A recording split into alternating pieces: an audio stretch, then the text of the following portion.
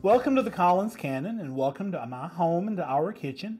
Today we're going to make layered flaky biscuits. For years and years I have been a fan of those canned biscuits that you get in the store that you bake and you take them apart and they're layer after layer.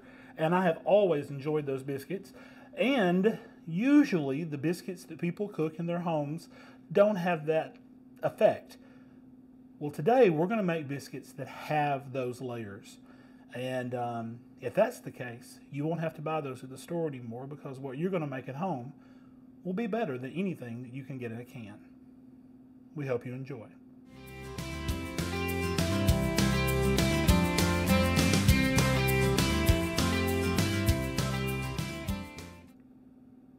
Okay, this recipe is layered flaky biscuits. We have all the ingredients here on the counter. I'm going to tell you what those are and the amounts. Keep in mind that this is a recipe that calls for whole milk and for real butter. Um, I know a lot of people have those at home. And this recipe that I'm going to bake for you now will make around six, no, around eight biscuits. So this is about eight biscuits, eight nice sized biscuits. If you wanted to make them a little larger, you could do six, but this is eight regular biscuits. Um, so let's talk about the ingredients here. First of all, you have two cups of flour. You have three teaspoons of baking powder, two teaspoons of sugar, a half a teaspoon of salt, six, tea, six tablespoons, excuse me, six tablespoons of butter, and this is cold salted butter. Make sure it's cold because of what we're going to have to do here. And a cup or a little under a cup, but a cup of whole milk.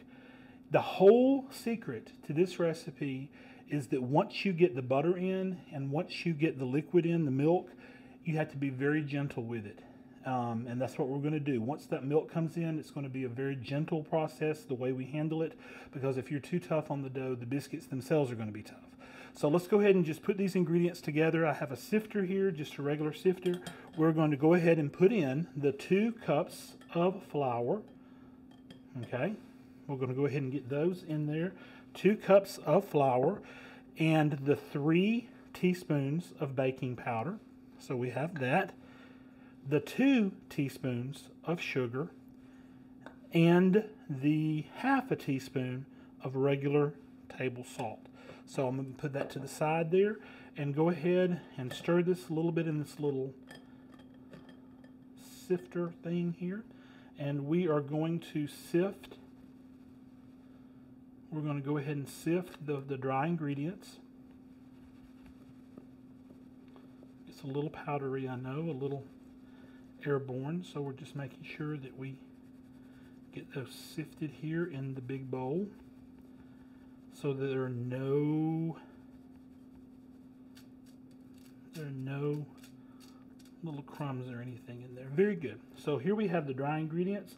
Like I said, it is a little bit um, a little bit messy at times because of the because of the powder here. So we're going to mix these together so you have all of your dry ingredients here in the bowl together. Okay, make sure that's really, really, really stirred.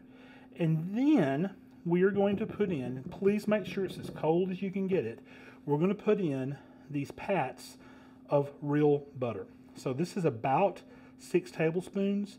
Please make sure that you have them cut up because by cut by doing that you'll be able to, to manage it a little bit better. There's absolutely no way to do this um, without it being a little messy. So the very best thing you can do is to go in here with your hands and we're going to take, and it's a little fun I guess, we're going to take this butter and we're going to push the flour and the butter in together so that that butter is totally integrated into those dry ingredients. So as much as you can, just keep pushing, keep pushing. Make sure that butter is, I guess, a good phrase or a good term we could use would be squished. Make sure that butter is squished and it's really pushed into those dry ingredients so that every single part, and I know I'm stretching out my words here because it takes a little while to do this, every single part of these dry ingredients have butter attached to it, touching, incorporated into it in some way, and just feel around. And I know it gets, like I said, it gets a little messy here. Feel around to make sure that there are no extremely large pieces of butter. Now, if there are a few little chunks of butter, really, for some of us, that's a good thing because in the middle of that biscuit, you're going to have a really nice little piece of buttery goodness right in the middle of a biscuit as you're going. So here we have these. Now, I'm going to leave the camera going. Excuse me for a second. I'm going to wash my hands just a wee bit here.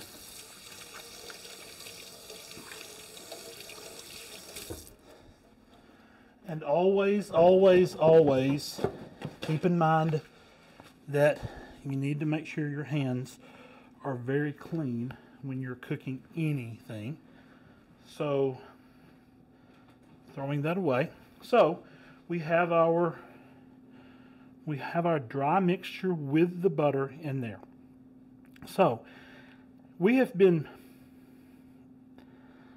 manhandling, I guess, or human handling this dry ingredient mixture with the butter. But as of right now, we're going to be a little more gentle. We're going to put in probably about a third of the milk.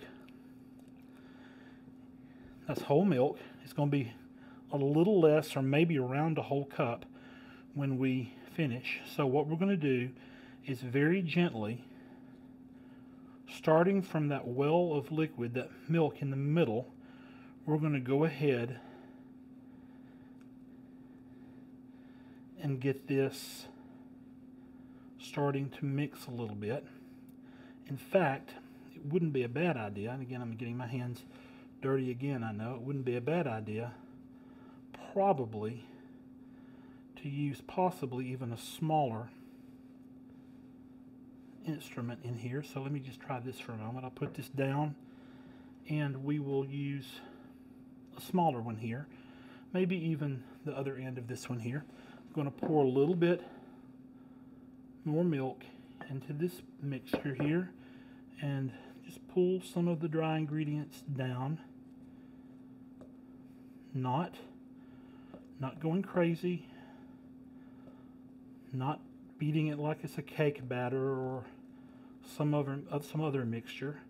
We are really just incorporating that milk gently into these ingredients. And these are not just dry ingredients, keep in mind. These ingredients definitely are completely blessed with squished butter all inside of them. So I'm going to go ahead, since I am already making quite a mess, go ahead and get the milk. And if you notice that last time I poured it over on the sides so that those rebel dry forces, those dry rebel, dry rebel forces on the side will definitely see that milk as well too. I may be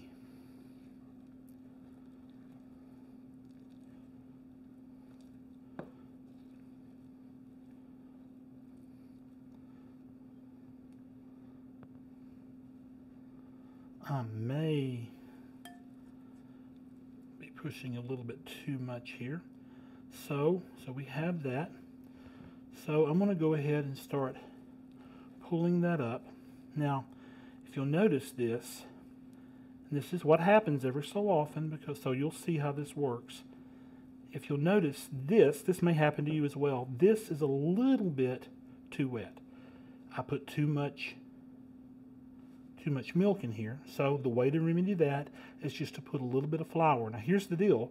You could wait and make sure that the flour that you have on your counter when you roll the, the biscuits out or when you pat the biscuits out, that flour will work its way into there. However, this needs a little more flour. So let me handle that right now.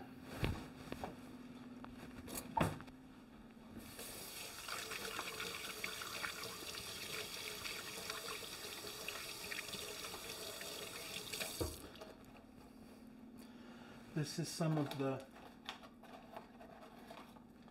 something that happens sometimes when you're just doing this all in one continual take. I'm going to put just a wee bit of flour in there just to dry it out just a smidgen. And I will make sure that my hands are not too wet with water. And I'm going to push this flour in here from the top. And I can already tell a difference. So, if you see, you're starting to see bits and pieces, really in a way, see how they're just, just really sort of turning into little strange layers as we go along. So, so we have this, if you want to call it this, a dough ball that is already ready to be put on the counter, the cutting board, for us to, to roll out. So let's take care of that. Now you can do this however you want to. I am going to get some wax paper.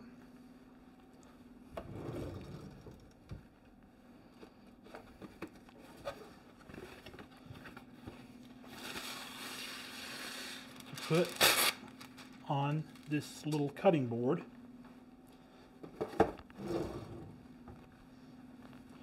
And if you notice, I've got enough, and you, and you can, you have your own counter and your own way of doing this, I know. But for what we're going to do here, I've got enough that I can fold it under so that I can at least throw some of this away. And I'm going to get just a little bit of flour because you have to have something to roll these biscuits out on. And some of this flour will incorporate back into the actual in the actual dough itself too. So we're going to go ahead and and get that ready to go. So something else what I'm, I'm going to go ahead and take care of right now is, and if you notice I'm washing my hands a lot here, I am going to go ahead and preheat the oven. We're going to go ahead and preheat this oven and we're going to go to bake and we're going to go to 425 degrees. You can use a wide variety of, of objects if you want to. I'm just going to use this glass here. So if you would, go ahead and take this dough. It's a little wet, but go ahead and take this dough and put it on the surface where you were going to, to roll it out. Got to get some more of this out of here. Okay, so you're going to go ahead and start the process of patting this dough down. that's one of the best things we can do here because we're going to, if you'll remember, layer this. So we're going to pat it down and if you notice what I did is I folded it over. You don't want to work it too much with a, you don't want to use a rolling pin. You don't want to completely overwork it again and again. You want to as gently as you can. Keep in mind that this stuff gets sticky if you don't have enough flour there. You are going to pat this out every time and then you're going to fold it over halfway again putting as many of this putting as much of this dough back into the process keep in, keep in mind that my hands are extremely clean as much as we can putting it in here the secret the secret to these layers is this folding process. It has to be folded several times. If you do it four or five times, it's not going to have that flakiness. It's not going to have those layers you want to have. But what you do, if you notice there's little pieces of butter that you can see in there, here and there, and if some gets stuck to your hands, just put it back into the batter. It's all the same. It's all the same ingredient. They're all the same ingredients. You just keep pushing this gently back in. And in every case, make sure that, you know, you bring that flour back up over and over. And I'm telling you that you may literally go through this process 40 or 50 times of folding and refolding. And it doesn't matter if you go faster, because the more you do this, the faster you can go.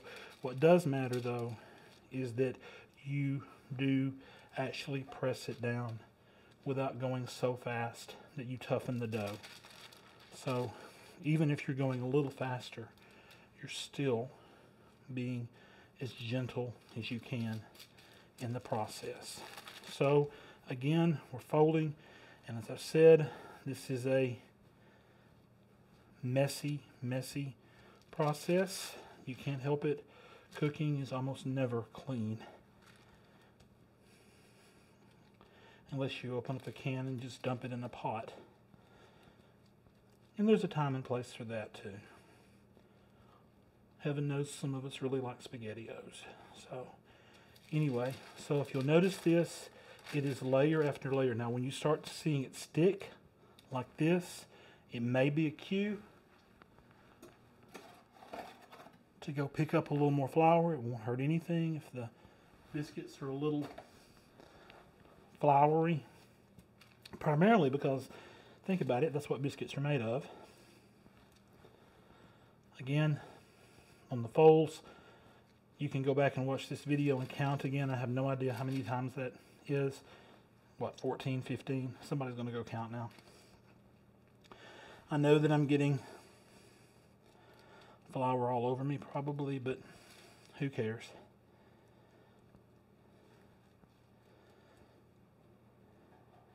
It's raining outside. It's probably about midnight anyway. So Notice this. We have a layer. You can hear the rain. You might hear it right now over the microphone. Okay, so notice those little layers of butter that are in there. Those are going to be beautiful, beautiful, beautiful little tidbits of taste for whoever gets that biscuit. Notice even if I'm pressing pretty steadily and pretty hard, I'm still in the process not going crazy with it. I'm still being fairly gentle. Now I told you I was going to go 40 or 45 times. I'm probably not going to go that much because I don't know if you can tell, but I can really tell from this vantage that there are many layers already in this dough. And the secret is that when you cut through this dough to make your biscuits, you respect the layers. The layers are running horizontally, and that's the direction you'll cut the vertical path through those horizontal lines. I tell you what I'll do. I will go one more fold here, which should do it. And then to cut these, you want this dough to be about half an inch thick or so. It depends on how you want your biscuits. Do you want them tall or do you want them short and agile or are you putting sausage, a piece of sausage between them? Are you using some butter and jelly? Are you putting bacon in there? Are you throwing them at the neighbors or whatever it is you're going, you're doing with these? Um, so what we're going to do here is we're going to cut these and I told you there should be around eight. The size of this glass, there may be a little fewer than that. But I'm thinking, I don't know if you can tell it from your point of view from the camera, but we're looking at a little over half an inch thick. So we're going to go ahead, that in the middle is a little more, a little thicker. So let's do that. Okay. So we're going to cut these. My hands are dirty. I'm going to wash those again.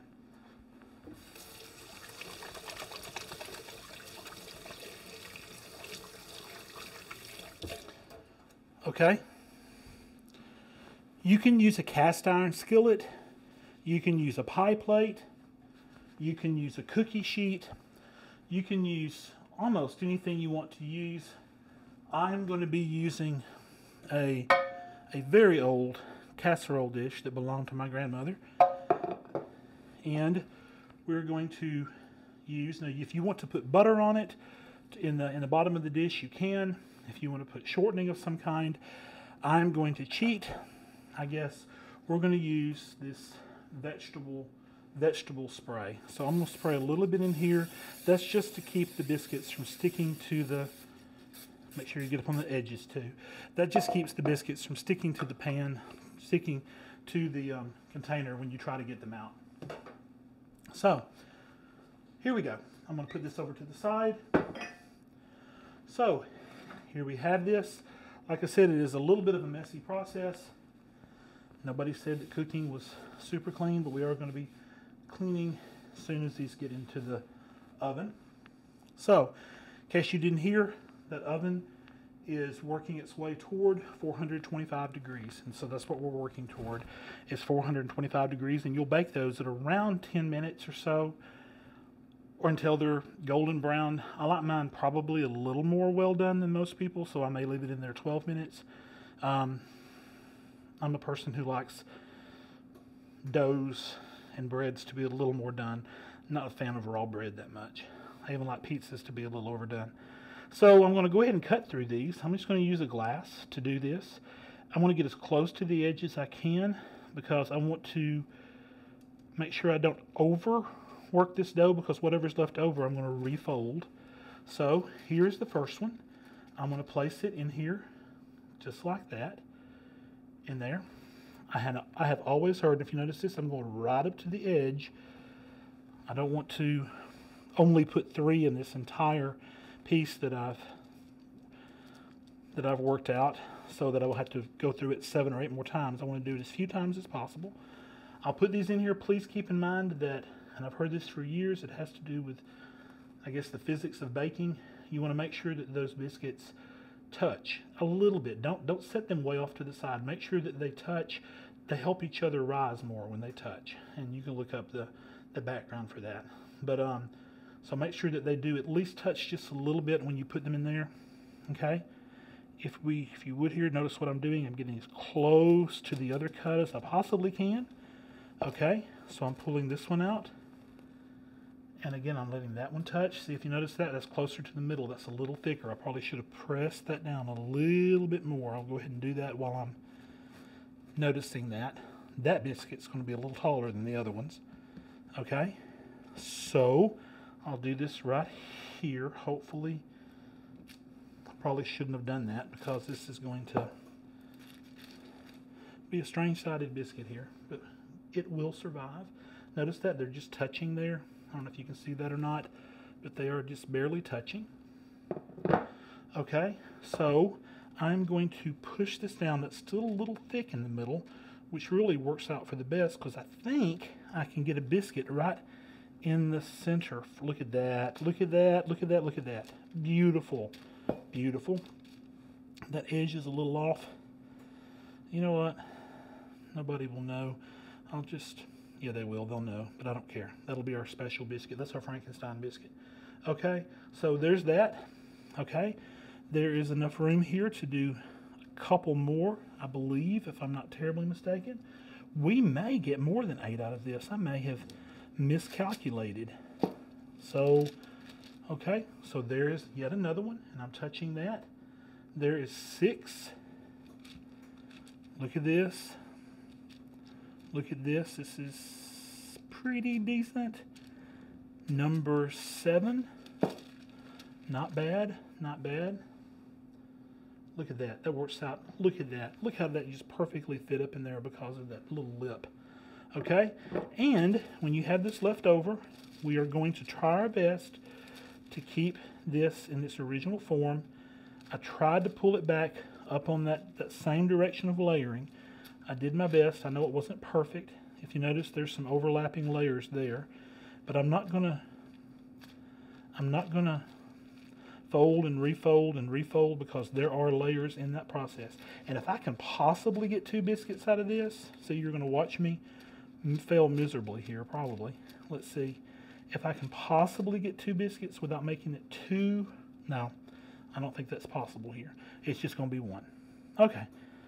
So there is the eighth biscuit. If you notice, I needed more flour on the bottom. There's the eighth biscuit. And for this biscuit, this is going to be, I thought the other one was the Frankenstein monster. But I'll tell you what, we will, this I'm playing this by ear, guys. We will twist this up and make our own biscuit version of a twisted breadstick. That looks horrible, doesn't it? But we're going to set it right there. That will be our special baker's biscuit. And we will have fun with that. So, here we go. There are eight biscuits plus one little extra. There goes the oven. It's ready to go. That's the sound that everything is good to go. We're going to take our biscuits and we're going to put them in a 425 degree oven.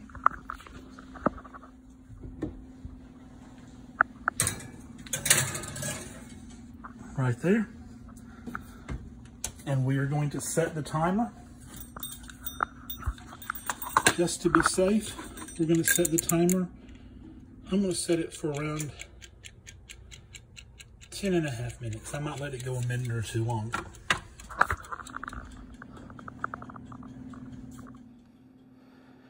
Okay, we will now wait for the biscuits to be done and see what they look like.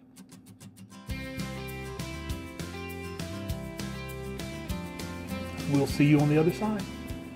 Okay, here we go. These just came out of the oven. I do have to tell you that there is a modification.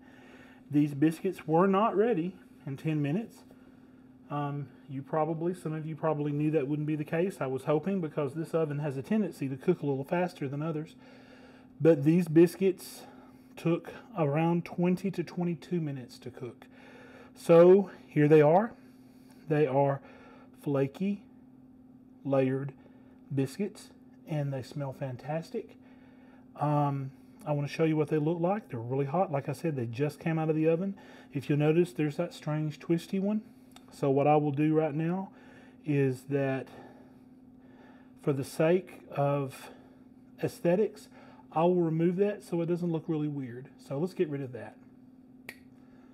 Okay, there we go. We have eight biscuits. They are flaky. They smell fantastic.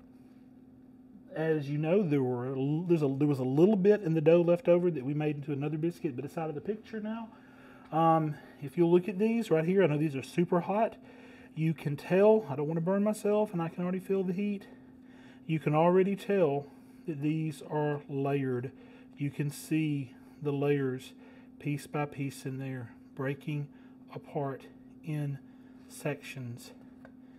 And that makes me very, very, very happy that you can see the different layers there. Okay, here's what's going to happen. I am going to turn this camera off and we are going to plate these up with a little bit of what makes biscuits even better. So if you'll just give me a minute. These are layered flaky biscuits and um,